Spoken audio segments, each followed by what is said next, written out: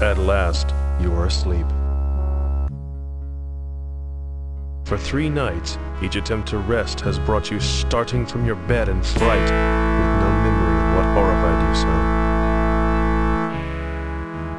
With a sickening sense of deja vu, you begin to dream. treachery and doom. My brother would unleash a great evil. Britannia is in peril. Sure that the ghost can take you to Britannia, you allow yourself to be drawn to him. A visitor, and from far away indeed. Were he not dead, I'd suspect my brother sent thee. No matter, thou shalt serve to draw the hounds from the scent.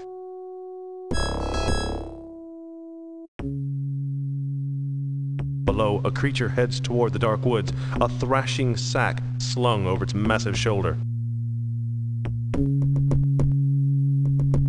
What hast thou done with our lord's daughter Arial? Dropped her below to an accomplice, I'll wager.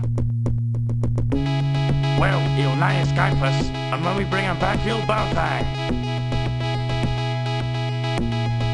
Several tense hours later, you are dragged before Baron Almric. Ignoring you, Almric questions his captain.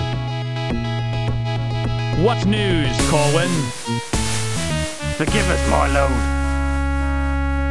The foul creature escaped.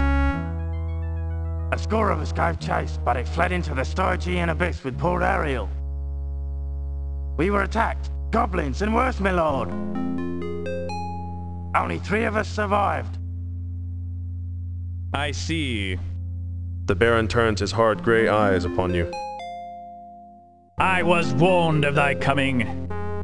Last fortnight, an apparition of an old, haggard man appeared in my dreams. Guard thy daughter well, it warned, for an evil one shall come to steal her away. I posted guards at Arial's door, but still you took her from me. They say thou didst drop her to a troll waiting below. What sayest thou? You explain that you are the Avatar and that you are innocent. Whether thou speak truth or falsehood, I cannot say. Stories tell of the coming of the Avatar, but years have passed since he visited here. If thou art truly the Avatar, then perhaps thou canst offer hope. None here can survive the Stygian abyss and rescue Arial. My mind is set. Corwin shall take thee to the abyss. Return here with my daughter, and thy innocence shall be proven. If thou dost not return, Avatar, then thy lies shall have brought thee low.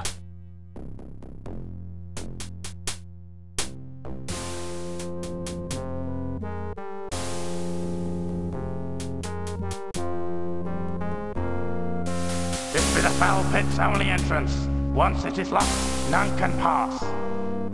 I will shut thee in and stand guard till I hear Arial's voice from within.